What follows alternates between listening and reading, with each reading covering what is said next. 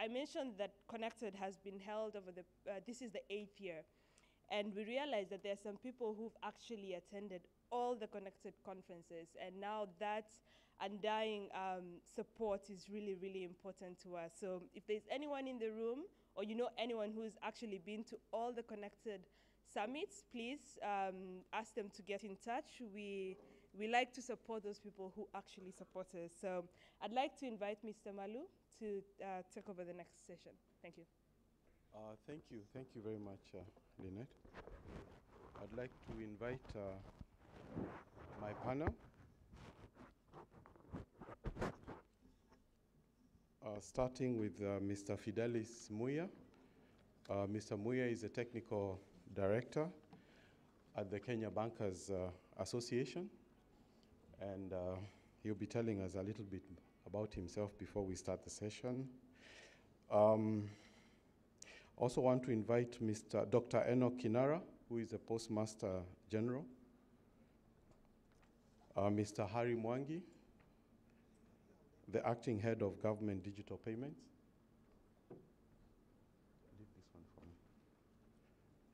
And Mr. Chalo, who is the, Director General Accounting and ICT Services at the National Treasury. And the subject we are going to be discussing this morning is a national billing uh, system. And I just want to begin, first of all, by thanking my panelists uh, for making time to be here uh, this morning. And I'm going to begin with uh, Mr. Fidelis uh, Muya. Uh, if your microphone is working, you can just uh, introduce yourself.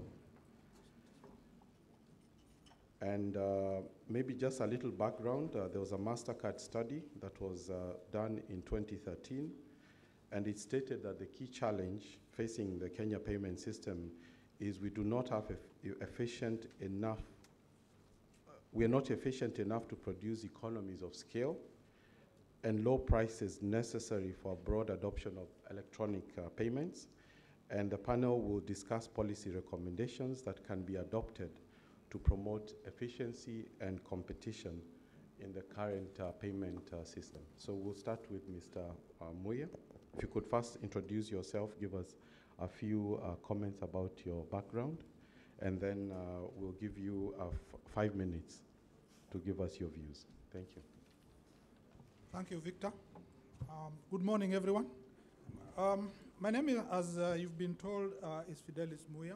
Um, currently, I'm working as the Director of Technical Services with the Kenya Bankers Association. My background is um, IT systems. I started as a programmer and worked through, and so far, I've moved into technical after getting too old to program. So now I'm in uh, management, what we call in suits. Essentially, um, at KBA, we work to enhance efficiency within the banking system, develop standards for banking, and look at ways we can reduce the cost of banking services through interoperability. And um, along with this, we've quite, uh, got quite a number of things that have modernized payments. And as we speak, we are in the process of implementing one of the initiatives that I'll be talking about later. But through the times, we've modernized payments from checks through check uh, clearing up to check truncation. We've got other systems uh, that we've modernized, and this is all towards making sure that the cost of services and cost of transactions are lowered. Um, in line with what we are discussing today, uh, we are looking at efficiency of payments, uh, pricing, and electronic end-to-end payments. I must say this cannot be achieved without several key factors. The first is interoperability. Systems must be able to interoperate so that uh, you don't have an efficient system within a silo. For example, a mobile payment system that is efficient, but at the end of the day, it is still converted to cash so that the customer then can transact. So, uh, for example, in today's era, you can actually do a mobile payment of money from Mombasa to maybe Kitale in 45 seconds. The money will have been moved to Kitale. But for that person to use that money, they still have to look for physical cash, translate it into cash for it to transact because either the retailer at the end of the chain is not digital, so it has to convert to physical cash. So that is one issue. We need to really have an interoperable system that interoperability can then facilitate end-to-end transactions. Okay, thank you, thank you very much. Um, uh, Dr. Kinara, maybe you could introduce yourself and then uh, give us your opening remarks. You have five minutes.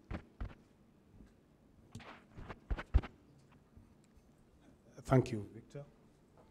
Um, I want to, first of all, say good morning to all of you. Uh, my name is Enoch Kinara. I'm the Postmaster General. I'm glad to be here this morning. The Postal Corporation of Kenya, that is popularly known as Posta, was created by an Act of Parliament in 1998 and we were operationalized in 1999, July 1. Part of our mandate is to provide uh, distribution and communication, which uh, we have mostly been doing the letter and parcel business. And we also have the financial services side. We have tried to stick within the accepted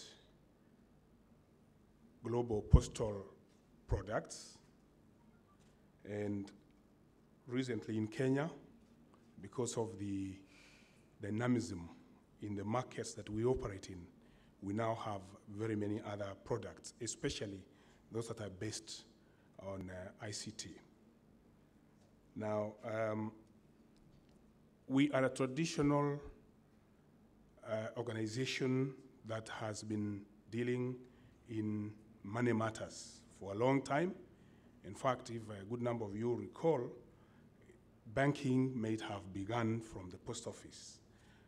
Also, uh, the communications that we have now in the form they are was also, um, we are the mother of all this. But you may also note that we have been left behind very greatly I want to say that because of that uh, nature of our business, we currently collect about 10 billion uh, Kenya shillings per month, and we make payments for the same. We have over 3,000 locations in the world, but ours in Kenya is, uh, is about six, uh, 623. We have the traditional money orders. We have the electronic version. In fact, we were the first to to, to take on this first through the telegraphic money order, then to uh, the Postapay, which came just before M-Pesa did. So EFT services, we have been on it for some time now. We also do intermediary, financial intermediary services.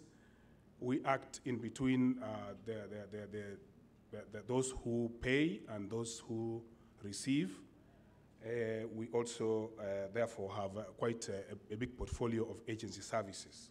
Then we will continue to act, and we are developing a system, an electronic system, where we are going to act for both uh, the, the, the, the, institutions that want uh, bills to be paid and those who intend to, to pay the bills, so that we handle all that at one point, so long as you have given us instructions to, to manage that account for you we will receive the bill electronically, we will debit your account and pay your bills. This is something that uh, is, is, is very advanced and uh, we hope to have this uh, launched any time. We want to work with the banks. We are already uh, in discussion with the seven banks that we, we, we have brought on board to be able to uh, you know, manage their customers' accounts who, those who want to, to, to give us that job of managing the bills for them, from uh, receiving them to paying them, and, and, and, you know, notifying them that we have paid the bills, okay. so that they don't have to physically uh, be going to queue to be able to pay. Thank you. Thank you very much. Um, I now want to introduce uh, Mr. Mwangi. Mr. Mwangi is the acting head of government uh, digital payments, and uh, he has a PowerPoint uh, presentation. If you could put it up for him, and uh, he'll, he'll speak from here. So you have five minutes. Yeah, I'm going to take you uh, through the journey. Uh, Kenya is largely a cash-based economy, other than the growth within the mobile money sector. uh, a lot of our transactions are cash-based uh, across. Uh, another aspect that uh, contributed to this initiative was the fact that uh, when it comes to government delivery, most of us make payments in cash. Uh, receipts are difficult uh, to validate. And then the payment points as well as the service points are disparate. There was also uh, a phenomenon which we discovered that uh, not everybody knows about uh, the services that government provides. So I would uh, want to uh, get a service from government, and uh, I don't know how much it costs. I do not even know where to get it. Uh, and this again brought in into perspective middlemen, brokers, you know, friends that we use to assist us gain government services. There are also very low levels of uh, automating the invoicing cycle. So you'll go to a hospital and you'll find a lot of uh, manual receipts. You'll also find a lot of uh, cashiers. So one hand does not know what the other hand is doing. And for you to get service from one entity, you have to prove that you had made payment elsewhere. Typically in government, uh, this is how payments work. Uh, it's either through cash, checks, which are bankers' checks, over the counter banking, where you bank money in a bank account and then you take the banking slip to the MDA, uh, ministry, department, or agency. The ministry then has to take their money into a commercial bank and then push that money to central bank eventually. But when you look at the successes we've had with mobile money and digital payments, government has not leveraged that in any way. We also do not accept uh, credit cards across board. You'll find one MDA here and another uh, accepting payments electronically. We are currently engaged with the following uh, MDAs. NTSA uh, is 100%. Uh, uh, most of their services are now online. They are accepting digital payments. The same with the Department of Immigration. Ministry of Lands is coming along. Uh, from 1st of March, all land rents are payable through electronically. The same as stamp duty, both within the Office of the AG and the Ministry of Lands. Uh, CRS, which is civil registration, birth certificate, death certificates are available online. Mombasa County, Ministry of Mining, there are various uh, mining permits.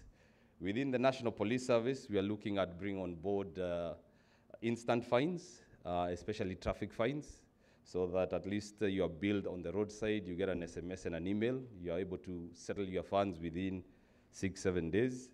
Uh, the judiciary, and uh, we're also working on uh, other initiatives such as ease of doing business, which will allow uh, you to register a business, register for uh, NSSF, NHIF, uh, business permits within a day.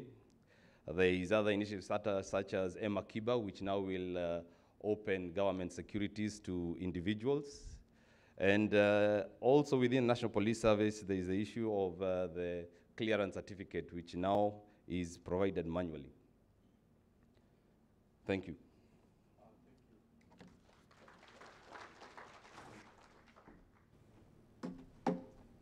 Thank you very much, uh, Mr. Mwangi. Um, maybe just just one question, and I'm, I'm excited to see I may receive my an invoice from the government through email sometime soon. What can the citizen do to to bring this um, date a bit closer? Uh, currently, for all services offered online uh, or through eCitizen, uh, you, you receive your email, you receive your invoice via email. The idea is to ensure that across board, there, there are some, some of the challenges that are brought up earlier of infrastructure, uh, the geography span of government. Uh, the, the way to look at it is to ensure that each and every government office has power, uh, comms, and they're in a position to provide the services. The biggest challenge also we have is the fact that uh, there is a lack of knowledge on, on the part of citizens. Not all services are blatantly clear. Not everybody is, uh, is able to know where to get what service. But so far, those that have gone online, we've got over 1.5 million Kenyans registered. So there is a huge number that has received uh, invoices electronically, but we're still a long way away from the universal invoicing for all services in government. Okay. Thank you. Thank you very much. Um, I now want to invite uh, Mr. Chalo. Mr. Chalo is the Director General Accounting and uh, ICT Services at the National uh, Treasury uh, to make, uh, you know, introduce himself and uh, give us uh, his uh, five-minute uh, presentation on this topic. Thank you. Good morning, everybody. I just want to make some uh, correction there. I'm sitting in for the Director General Accounting Services. Uh, as you have heard, my name is Chalo. I work in IFMIS. I've been there, I would say I've been born there, and uh, I think I will retire there because I love uh, that place. Uh, in IFMIS, we have, do, we, we, we, we have been doing quite a number of things uh, since we started, and um, we are implementing the public uh, fund reform uh, to promote accountability, uh, transparent, and effective way on public funds. We have implemented a quite of number of modules from end-to-end process. We have reviewed our business process as, co- as compared to the government way. We have implemented plan to budget, which is a module which uh, gives uh, uh, opportunity for the public officers to do budget from sector level to program based, and now you're moving up to the project level uh, in this uh, coming financial year of 2016 2017. Uh, we also done some procure to pay module. We have done it on all the MDAs and we, all the counties, and also we are moving to uh, to the parastatals. And we are bringing a very, very unique element here on this procure to pay. We are promoting competition and fairness in doing government business through sourcing. We have done also revenue to cash as a model which requires to collect all the revenue and report it back to the government. We have done commu- communication to change and also ICT to support. As I indicated that earlier, that we are hope, uh, we have put our presence in all the MDAs, that is the ministries and commissions, and also we have moved to all counties. I think we have seen us. We- are also moving to uh, to the parastatals on e-procurement. A quite a number of things now right now we are doing. We are reviewing guidelines as compared to the e-procurement uh, based on the Public uh, Procurement and Asset Disposal Act 2015. I don't know whether you know that act is out, and for those who don't know, please check how it's said, because we want to bring the ICT component now in the procurement, full cycle of the procurement. We are doing integrations with the government uh, entities, uh, levels like KRA. We want to get all the information of the KRA uh, being reported to the one uh, platform, all the Greece human resources. Pension, I think pension has been an headache, but we are working on that integration, bringing it back to the IFMIS to be able to have a one point of uh, reporting. We are integrating with the Central Bank of Kenya. Uh, As you know, it's a payment gateway for the all government transactions go pass through the, the Central Bank of Kenya. And again, we're also doing e-ProMIS, uh, which is deals with the projects. And I want to tell you guys, all this uh, work cannot be done without a spirit and the attitude of determination. And it's true that I must say to you that we must put in our mind that we'll have to ride the waves without getting wet. Well, you know that when you're in the sea, you must get wet. But that determination and positive attitude is the one which will make us move forward. Thank you very much. Uh, thank you very much, uh, Mr. Chalo. We've learned that we, we have to ride the sea without getting wet. Thank you. Um, I just want to have a discussion now with the panel, um, and I want to pose a question to them, uh, and I'll give each of them just two and a half minutes to, to respond. Um, and the question is what interventions are needed to deepen non cash transactions in Kenya? What interventions are needed to deepen non-cash transactions. And I'll take away two options. One is interoperability, which Mr. Muya has already mentioned. The other one for me is uh, street addresses. I think we need to have street addresses uh, to, to encourage e-commerce so that courier companies can, be able to locate uh, uh, uh, individuals or corporations uh, fairly efficiently. But I would like, from a policy point of view, what would you recommend uh, that can be done to improve uh, uh, non-cash? Because as you, as you recall, the study found we do not have enough non-cash transactions and we need to have more so that we can create economies of, of scale. And I'll start with Mr. Muya, who was uh, first to, to present. Thank you, Victor. Um, to promote low cash or non cash uh, economy, we actually need the very bottom of the pyramid in the payments arena to be digital. And um, this you are looking at, for example, if it is at the corner shop, uh, the mamamboga in the supermarket, or rather the local markets, for example, every market, you actually need to facilitate them the ability to digitally transact. And in addition to the mobile phone, which currently is available, you then need to have a low cost uh, acquiring device. So we are looking at um, mobile M-POSes or something like that, that is one, very cheap, two, is not complicated to use, it's very, very simple, so that even the 20, 50 shilling transaction can actually be done digitally. If we can do that, then we will be in a position to start looking at a cash light society that actually works. Right now, all the things we are talking about are reasonably high level payments, and people who can do those payments actually can afford quite high devices. But if we really need to kill the 95% we are talking about, then we really need very, very low cost um, acquisition devices. And, and from a policy perspective, what do you believe the government can do to promote uh, this cashless uh, uh, uh, e- economy? Well, there are two things. Number one is um, the painful one. Uh, just when we were looking at introducing digital payments, the government slapped a 10% um, excise duty on it. So it's effectively the transactions went up by 10%, which then, of course, did not give an incentive for that. So we really need to marry the policy perspective to the initiatives that we are doing. So, for example, if we are introducing a system for low-cost devices, we are looking at can we actually subsidize them?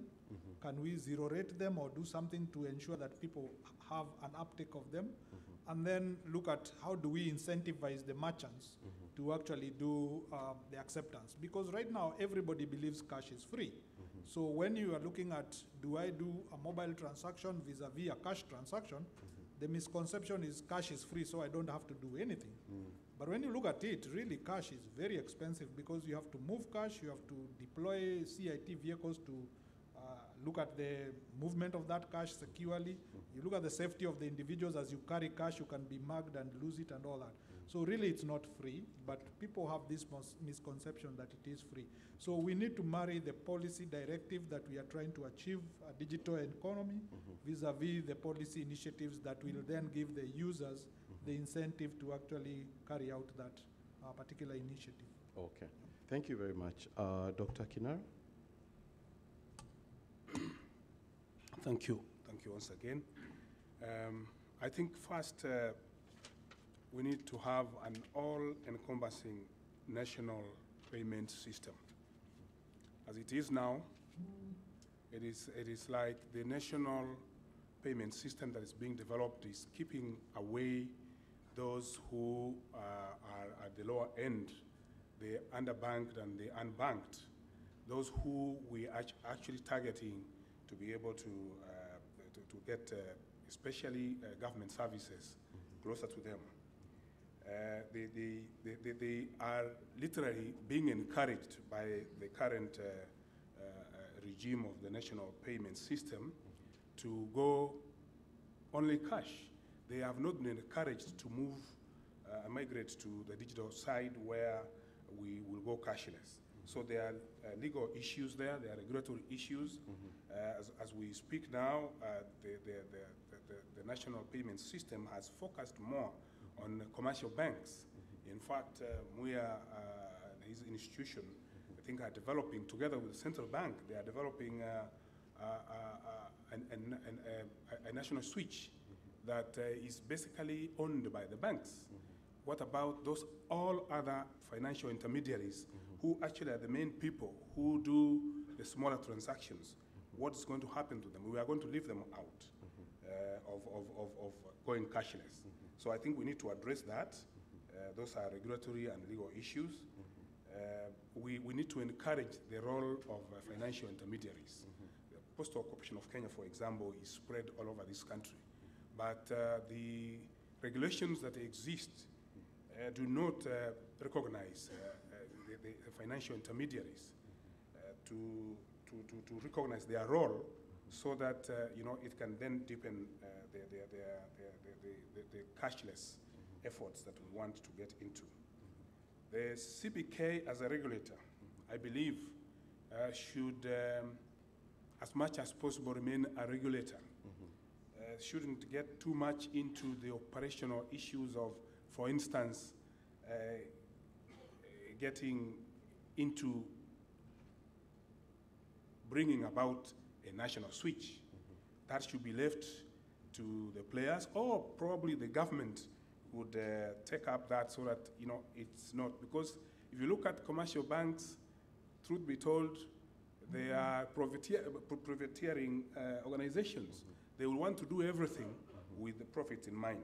Uh, if the government took the role of uh, installing a system uh, that uh, could then serve everybody, the profits probably could come last, and that cannot be entrusted to uh, profit-making companies. The, the role of the private sector and the public sector is, is, is, is very, very important here, and the, the, the regulations that are going to apply should apply across board to be able to, to get all of them on board. Now, I just wanted to add uh, one more thing about um, the payment media. He mentioned about uh, uh, you know getting POSs. If you go to Bangladesh, in the market, in a normal market, you will find the vendors there actually carrying a POS terminal, so that those who come to buy vegetables, tomatoes, and so on have a card.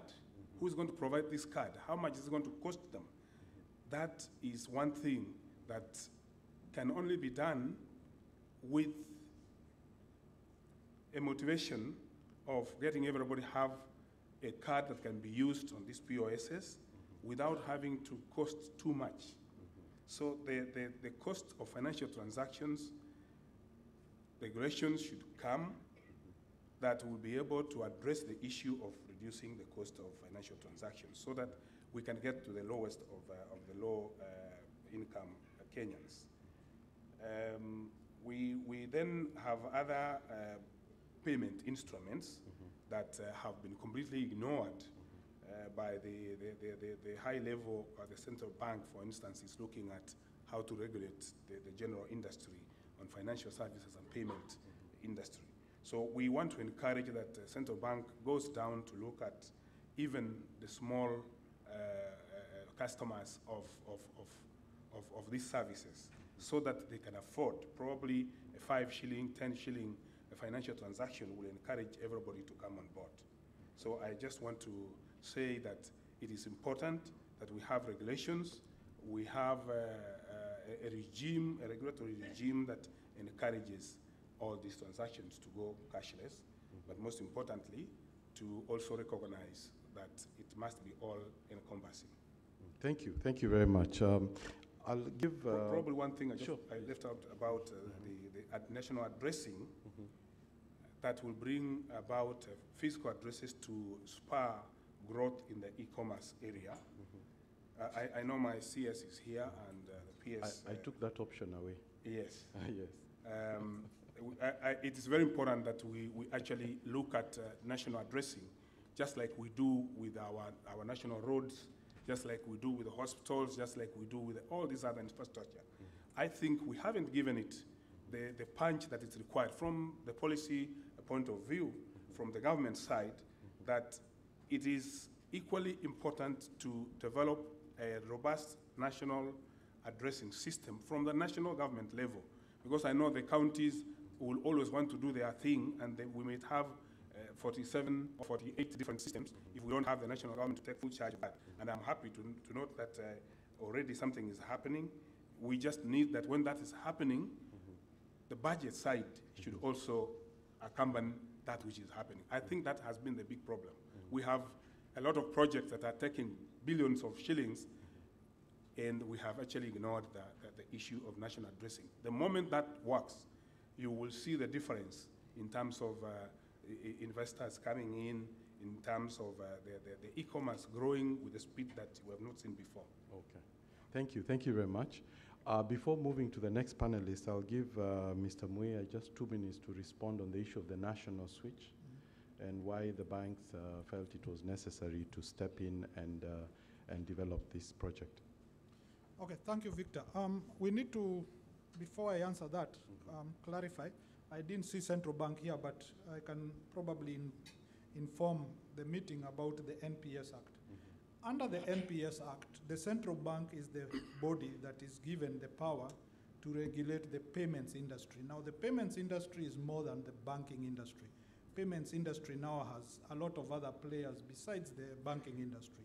But um, to put that in perspective, all persons, or in this case, persons is legal persons and uh, organizations and natural persons, intending to run a payment system, it must either be licensed, authorized, or approved by the central bank before you actually start operation. Now, that is legal.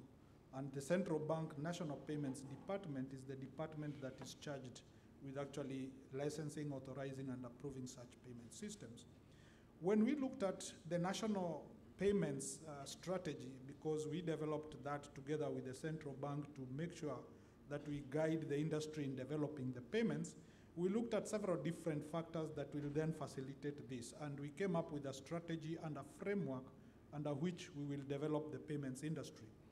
The first is the study that was done by MasterCard on national payments policy that advised the central bank on the policy that led to the NPS Act. The first one was central bank should focus on one, security, uh, both security in terms of system security and settlement security. That is the risk in terms of the payment systems risk.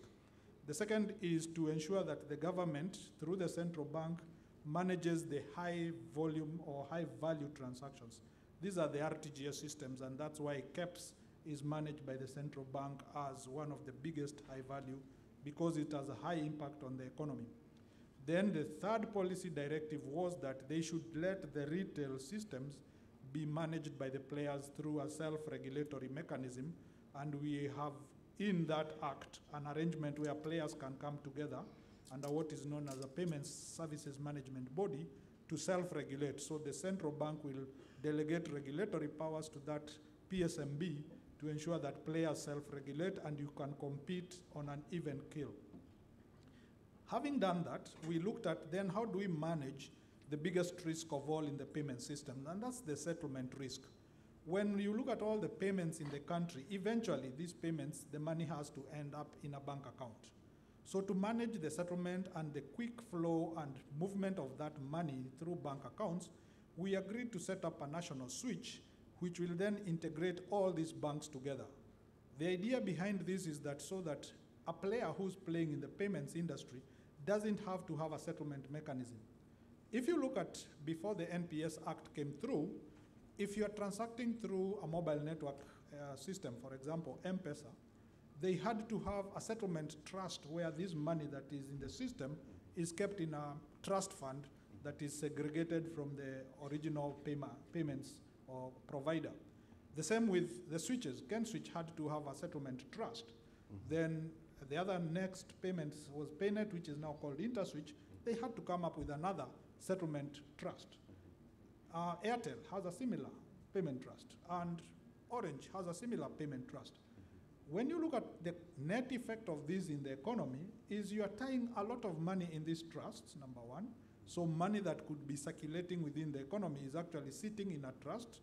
Um, it is not being used for the purposes of anything other than sitting in a trust, number one. Number two, there is a cost to that. So when you look at the transaction cost element of all this po- multiplicity of trusts, those costs are then factored into the transaction cost. So one of the biggest drivers of these costs is that as more people come up with payment systems, more trusts will come through, and that cost will be borne by the local mwananchi. So what we are looking at is having a system that does not need to replicate a settlement system that is in existence. And the banking system through the central bank has an elaborate settlement system. So this switch we are putting in place is to facilitate such a system without having to have a trust. Because if money is sitting in my bank account and my bank can settle with the other 43 banks already in place, all a settlement payment system player has to do is to link to a bank and channel all these payments through his bank account. Mm-hmm. And in 45 seconds, I can move money from my payment system in Kwale to a, a payment system in Eldoret electronically through the banking system, and settlement happens at the end of the day at the central bank. So you don't have to have a separate trust account. The money moves from your bank account to the other bank account electronically, and in 45 seconds, I can actually pay anybody within the country as long as they have a bank account in 45 seconds. Once we achieve that, then we remove the need of all these settlement systems, the need to have money outside the financial system that is not circulating, that is not being reinvested, and therefore efficiency is the, is the factor that we will then introduce. And all you then need to do is link your payment system to a bank. Then you do KYC, everybody knows who it is. We have digital track of all these payments, and efficiency becomes the driver, and therefore the low cost transaction can actually be achieved.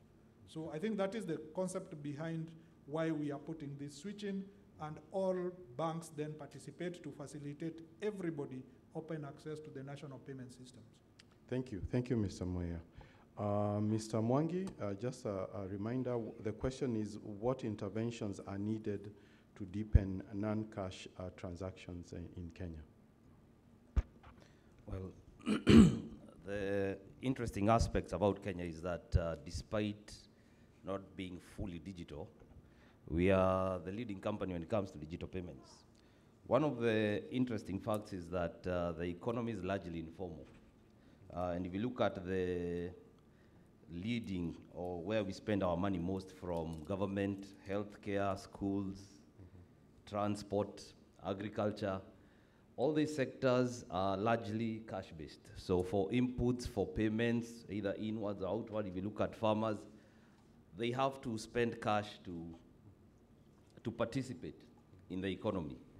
Uh, PMG and Fidelis also mentioned uh, the merchant side.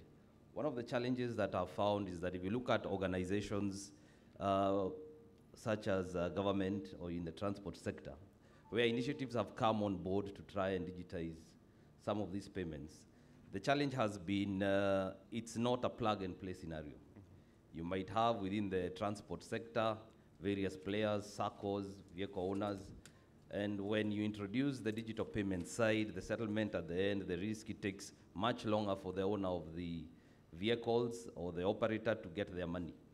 If you look at, uh, for instance, government, you have thousands and thousands of offices across board, uh, enabling each and every government officer, wherever they are, to receive payments uh, is heavy lifting. You will need to invest in uh, so much infrastructure and uh, education, and also the fact that uh, the back end where the settlement comes in, where the settlement risks are being brought up, we still do not have a mature enough uh, system where you can demarcate these funds and push them in the various uh, destination accounts. Uh, there is need to formalize uh, the informal sector. If you look at our everyday, we uh, Mama Mboga, there is our, the barber, the hairstylist, whoever it is, your mechanic. They, we have a perception that it is cheaper to pay in cash. And uh, for them, there is no incentive for them to digitize. The cost of the POS is high. Uh, we also have this issue around uh, fear of uh, going formal. In, uh, there is the tax man, there are the regulators. You might not have this license, you might not have that permit. So there is a huge, huge need to educate even the merchants on the benefits of uh, formalizing. For instance, you've been in business for a while. However, you do not have any bank records, you do not exist in any government system, so even accessing credit becomes a challenge. Uh, in areas such as professional services, people do not have indemnity insurance. Uh, you have a plumber comes to your house. Uh, the arrangement is quite informal. At the end of the job, uh, you give him his uh, few hundred shillings. But if you have a problem that recurs, there is no recourse for you. So we have a huge, huge uh, army of informal players who we engage from time to time. And uh, because of the structure of banking, despite them transacting on a day-to-day basis when it comes to money transfer, they are unable to engage formally as uh, merchants, where they can uh, have merchant accounts, POSs, etc., receipt formally. And uh, the, the policy, or I think on the government side, does not seem to facilitate. I think we had an initiative earlier, uh, about 10 years ago, around the ETR, the Electronic Tax Register. And uh, with the right incentives, that was adopted across board by a lot of businesses.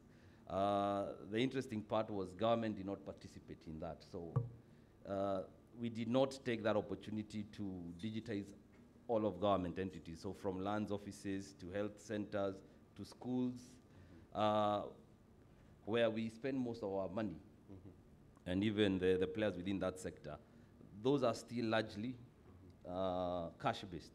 So there is need to look at uh, broad-based incentives from the players in the banking sector, uh, where they can support the mamambogas, acquire POSs at a very low cost, and then also on the banking charges.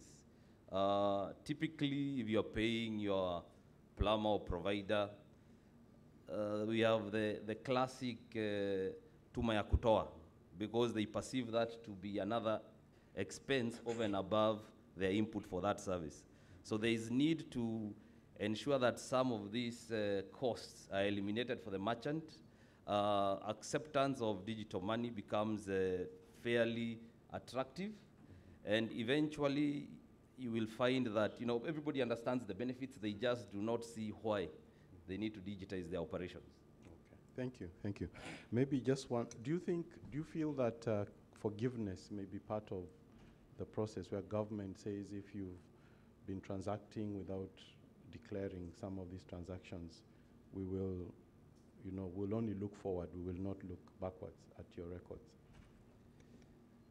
Uh, the, the amnesty is one of the incentives that government can use. However, uh, there is a whole area of transparency and also where people feel victimized. Uh, I could run a business for 10 years.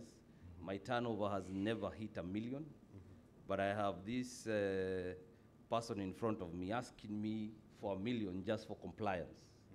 So the, with this push to have a lot of uh, licenses, services online in uh, non-personal, uh, it is possible for you to register a business uh, without having to know anyone, pay for your licenses on time, pay for any fines, and uh, operate legally without being harassed by the authorities um, when you're running a business.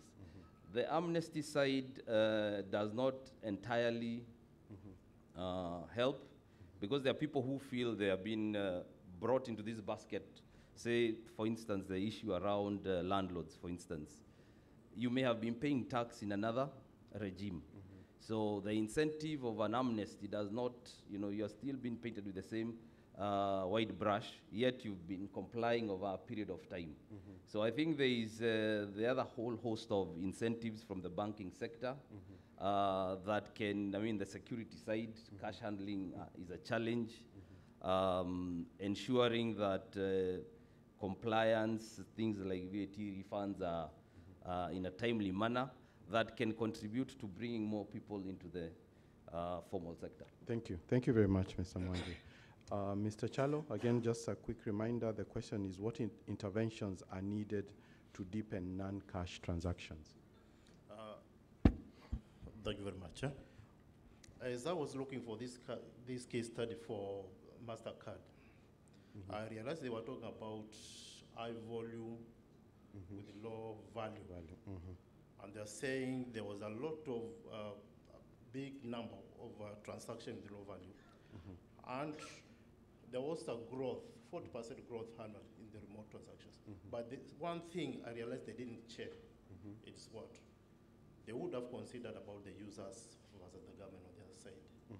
Users, they have a kind of a difficult kind of a behavioral expenditure. and the users they feel that they are being restricted by moving away from the cash to cashless. Mm-hmm. So one thing they would have understand and checked mm-hmm. about this mm-hmm. is that they would have implemented a system based on the behavior of the users, so that the users will move on on ICT or on this technology. They don't feel isolated or left, or they don't feel like they are being denied their rights. So the behavior of the users is very critical at this level. The other thing we would also been checking is about the competition. Don't forget competition is very important, even in our current kind of environment where we have several uh, subscribers for the different networks. You will get that if I call this one, I'll be calling at three shillings or this one. So the competition is very critical to this kind of environment that we'll be able to open up and let uh, our more players to come in so that the users can be able to benefit. Information, as indicated, is also very important. People, they need to be educated about this kind of cashless. They should not be taken for granted. Because unless you convince them that this is the way to go, mm-hmm. and what are the benefits inside this kind of the platform. Mm-hmm. For example, we talked about 1963 kind of the Mathiri thing, whereby you just to come with a card. You don't have money, so you are not uh, uh, inviting kind of insecurity in your pocket. Mm. So the users needs also to be educated very much to be able to understand what is going on. Mm. The interchangeable fee, mm-hmm. it's something which never came out clearly. And as has uh, where it's seated on, you need also to inform them when you do this transaction, what are the costs? I can't imagine carrying my credit card to go to supermarket to buy a unga, a packet of unga is costing seven shillings. And on top of it, there is five shillings on top for the transaction. I would prefer to go buy using my money. So this kind of the fee also needs also to be kind of uh, uh, uh, reduced. Uh, on the government side, adopting the cashless is not that much difficult because I need to trace the history where we started doing the GPay, the mm-hmm. Central Bank of Kenya, and I don't know where they haven't come today. Mm-hmm. Um, what we came to encounter was more of a resistance to change, mm-hmm. but with the policies, guidelines, and rules, uh, it, there is no option. You must do it, and we did all this. I remember those times we used to queue the cash office. Uh, even I used to get my salary from the cash office box. But when this thing came, I realized there was a lot of convenience mm-hmm. and security. I don't need to go there. I need to access my salary at all time. Mm-hmm. So in government, there is a, there is, there is a leeway of moving it very fast than mm. the other side. So as we consider ourselves in the government on how to do to bring this cashless kind of environment, mm-hmm. also we need also to look at our public, at our users, at our people on the other side, and give them incentives such a way that they can be able now to come in. Okay, thank you. Thank you very much. Um, I'm now going to open this up to the floor. Uh, so if you have any questions or comments for, for the panelists, uh, this is uh, your opportunity to, to ask those questions. I don't know if there's a microphone. Is there somebody? Okay. So if you just put your hand up, we've got a gentleman over there and another one here and another one there. So we will first take those three questions, and then they will respond to those before we move to the next. So we can start with you, you sir. Yes. Good morning, everyone. My name is Andrew Mbuya, uh, CEO Mobipesa, one of the applicants to join the uh, payment space as a service provider. Now, I notice most of the talk here on uh, the, the small ticket payments is focusing on POS as one of the channels to execute the payment. But Kenya being one of the countries that has led in uh, adoption of the mobile phone technology within the payment space, I believe there is a lot of potential if policies can be set forth to enable uh, the MNOs working together with banks and uh, the banking, the mentioning of uh, trust accounts requirement in execution of this. I don't know what kind of policies are being put to ensure that the ex- already existing players, Safaricom, Airtel, in terms of their telecom network, uh, and, and the other players together can, can be put or compelled to work together so that the cost of transaction in executing small ticket uh, payments can be lowered. Essence being, if you're to go USSD, for mothers who have to bonyeza seven, eight times in order to make a bill payment, these things can be done in a two-step or a one-step process if you're using USSD, but then you find the MNOs create barriers in terms of billing, so that then you end up with a service that is way more expensive than existing ones, and, and yet uh, customers are being flipped. So to CCK, to Competition Authority, to, to CBK and the rest of the players, what policies can be put together so that much as existing services have already taken a step forward in moving these, rooms can be created for the new players to come in and provide even cheaper, more effective solutions in the market. Thank you. Okay. Um, is any of the panelists want to take this one? Uh, Mr. Mwangi, thank you. Uh, One of the aspects that perhaps uh, will introduce the policies is for a long time, government was not a player in that space. So, uh, as a non player, they don't. Uh, uh, they, they don't understand your challenges. But now that government is also in the same area of trying to encourage more and more cashless payments, uh, I'm sure that discussion will come up and keep coming up. I think what one can do is also provide uh, a lot of feedback or consultations. Let's have discussions around this. Uh, this area will only grow. The challenge we had even initially was getting, say, a pay bill that is universal across all mobile networks.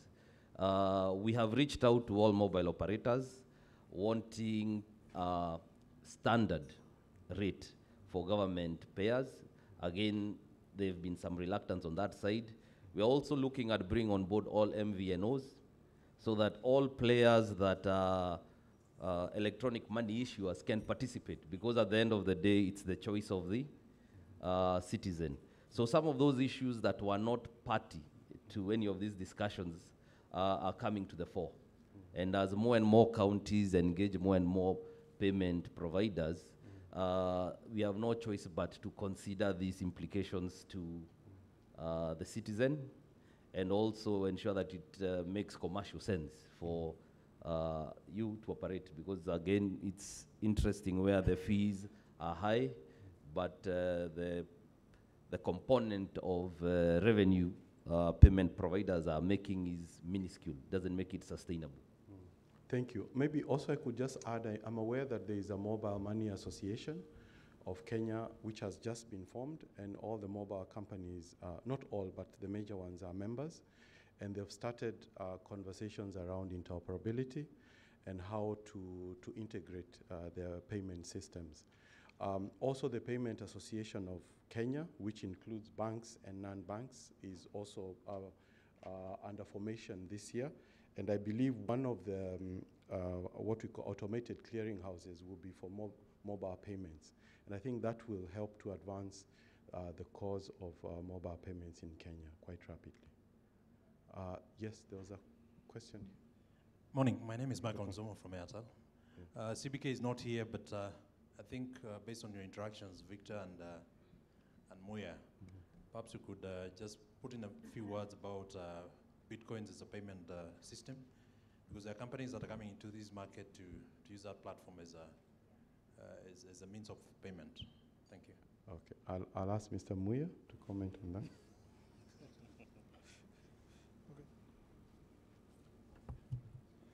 Um,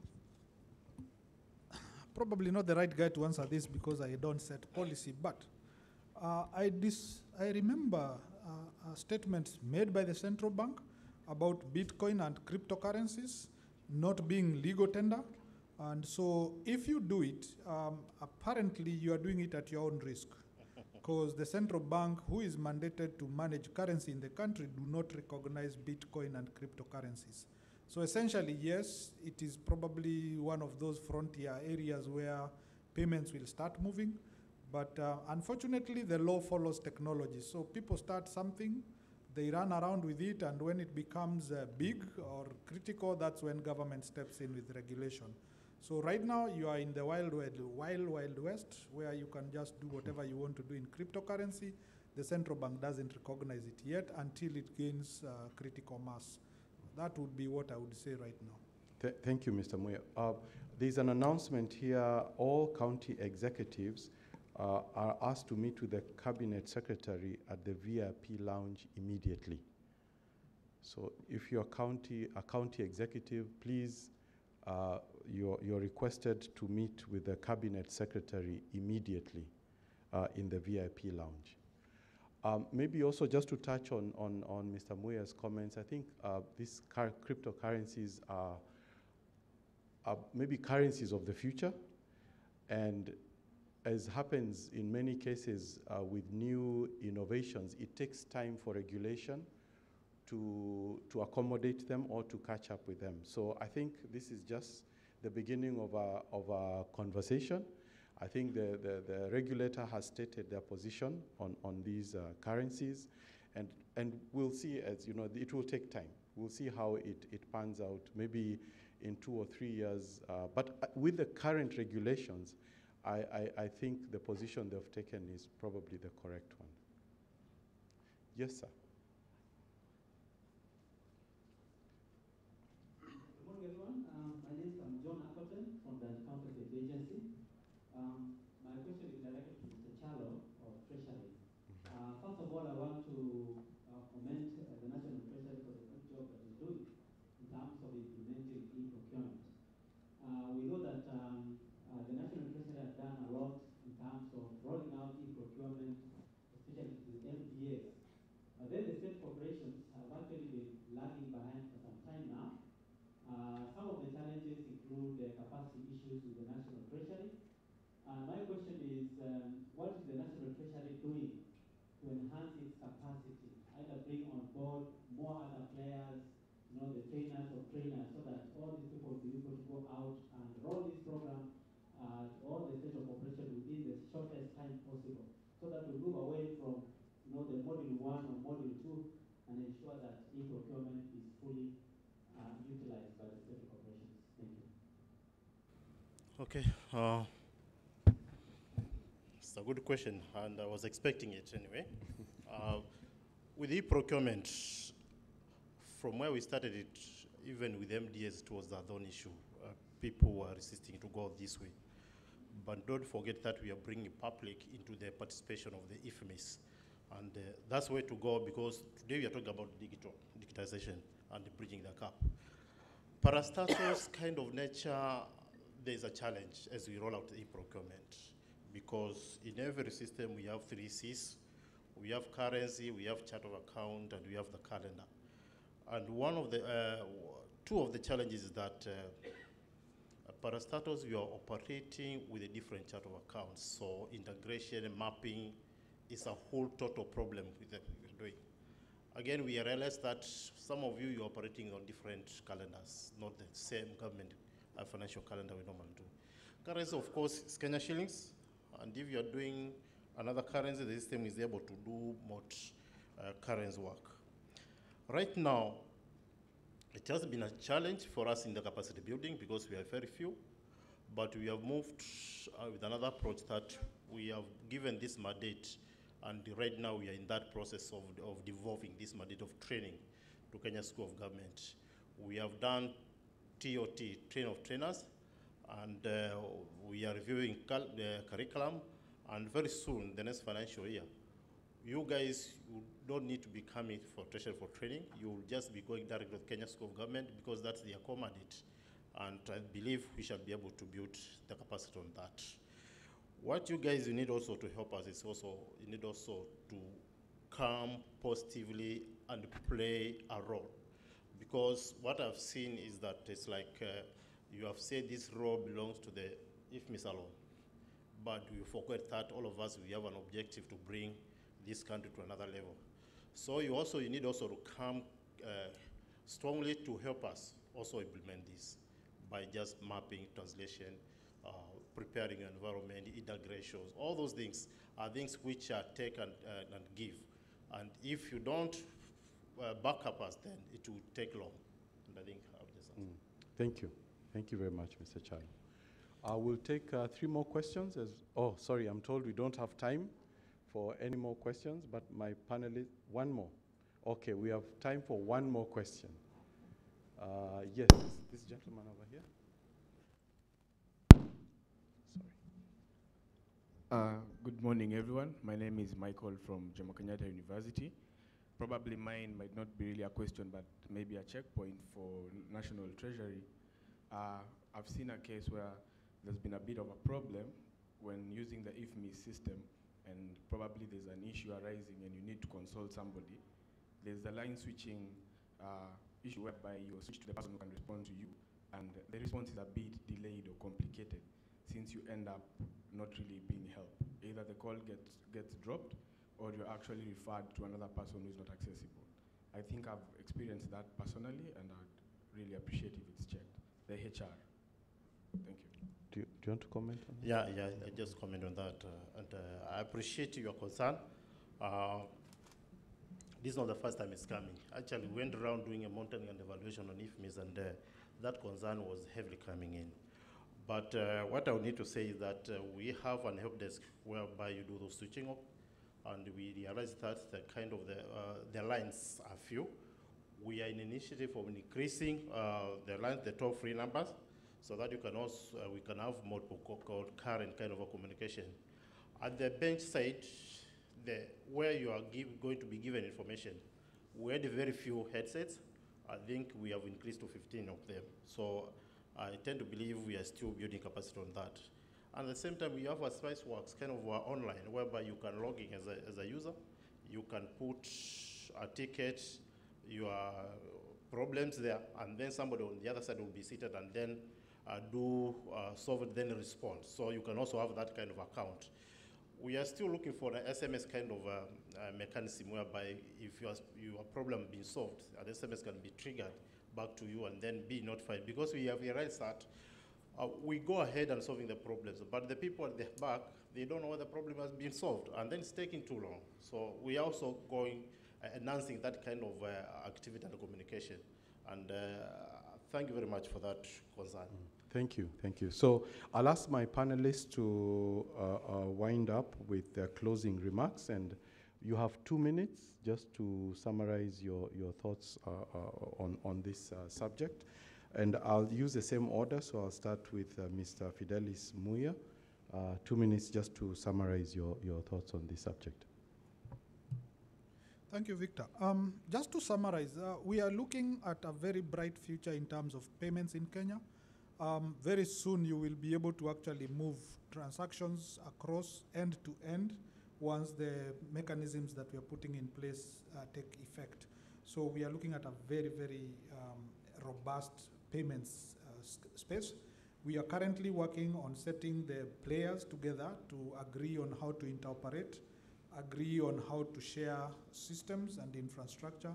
And what we are setting up is really what we are calling the standard gauge railway for payments. Once that comes in place, you will see the kind of transformation that we will make for payments in the next three or four months. Uh, there is a lot going to happen. So please just be on the lookout for this and make sure you maximize and you get on the train. Thank you. Thank you, Mr. Muya. We'll, we'll wait for the train and get on board. Thank you. Um, Mr. Dr. Kinara, your two minutes. Thank you, thank you. Um.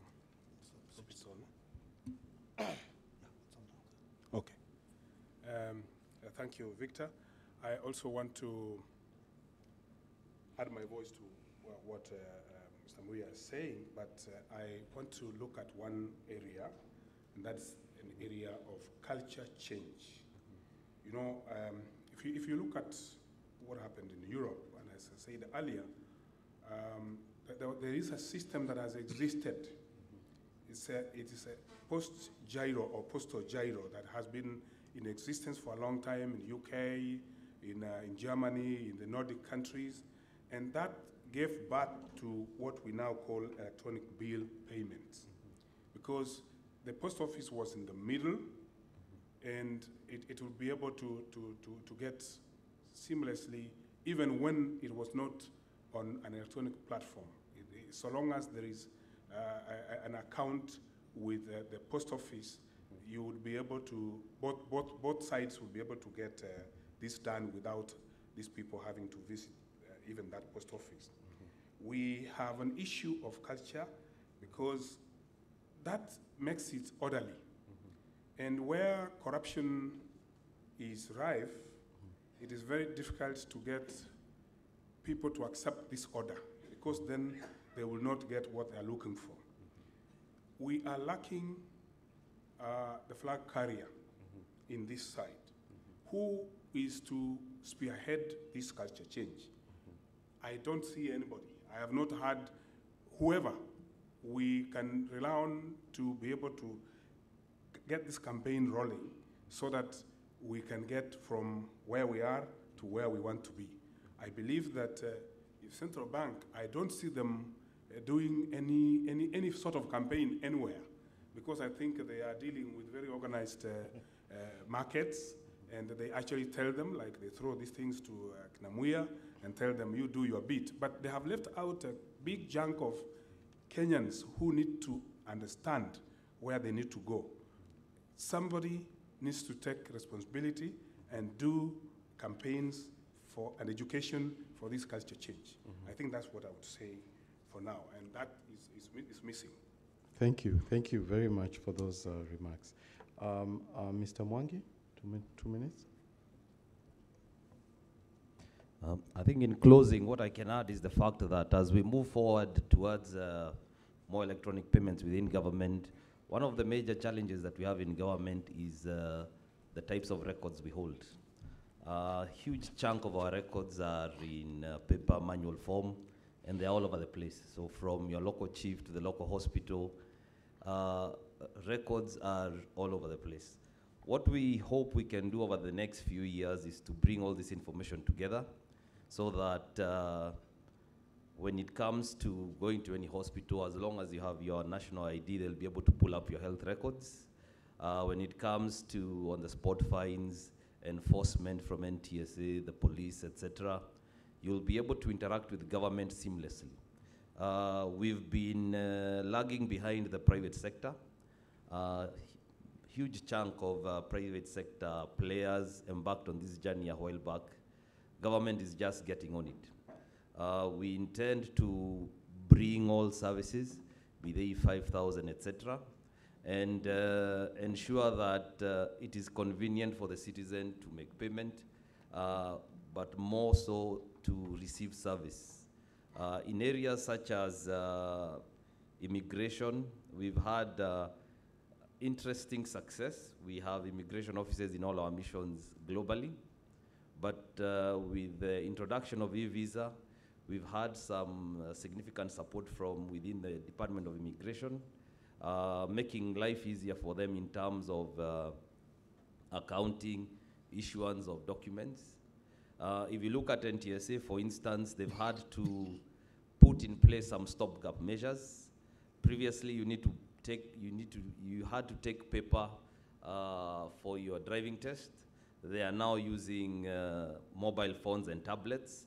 And this is uh, the challenge we have between uh, mapping your payment to service delivery and ensuring that uh, the service is delivered.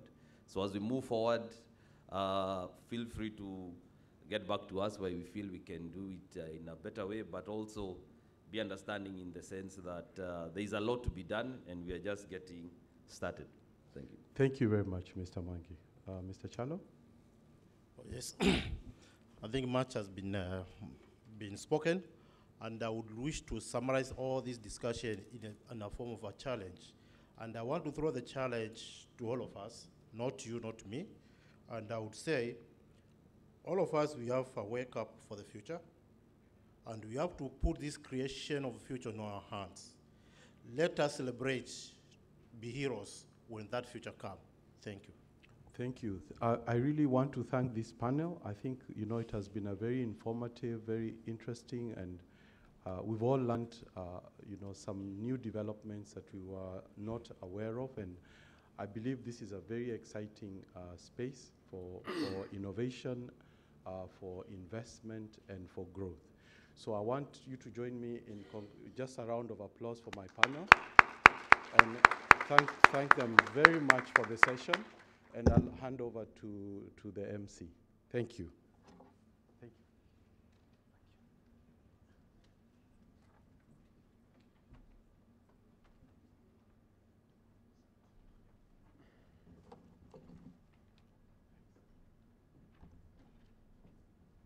I would also ask that we give a round of applause to uh, the moderator. He was under very strict instructions to keep time, and he has. So thank you very much, uh, Victor. Um, so now we are just headed out to um, our tea break, but uh, a few announcements before that. Um, after tea break, we're going to have the Innovations Award uh, by Microsoft.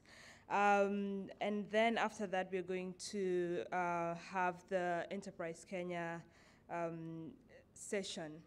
But I want to take this opportunity to once again thank all our sponsors for making this possible. Um, and uh, this is us also being nice to you, so next year we can uh, make the same call.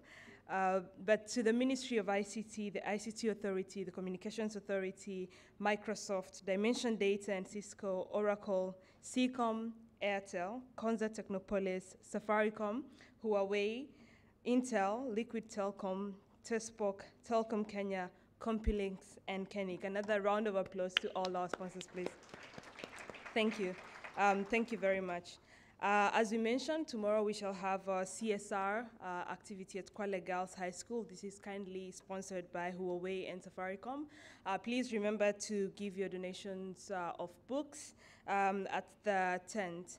Moving forward, all sessions shall start on time. Uh, hopefully, everyone will be in the room, so we are um, re respectful to the next sessions and we uh, keep time. Um, and then the afternoon sessions, we shall still have the breakout. So we, I will give those announcements um, as we move. So right now, let's head out to uh, tea break. We have exactly 25 minutes and then another two minutes of walking in. And the Innovations Award shall start at exactly 10.30 um, a.m. Thank you very much and see you after break.